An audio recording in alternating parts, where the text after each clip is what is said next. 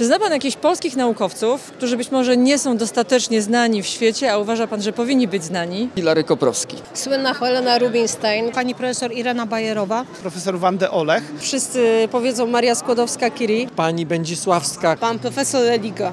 Stanisława Ulama. No to na pewno Zamenhof. Profesor Zygmunt Ziembiński. Na przykład Maria Czaplicka. Pan e, Max Faktorowicz, znany jako Max Factor. Witaminy to nasza zasługa, badania nad krwią to nasza zasługa, e, światowe mosty, między innymi most w San Francisco to nasza zasługa. E, nie byłoby Mount Rushmore, gdyby nie Polacy. E, nie byłoby wycieraczek, gdyby nie Polacy. No, nie byłoby całej masy wynalazków, gdyby nie polscy naukowcy. E, więc o polskich naukowcach trzeba się uczyć i trzeba ich znać.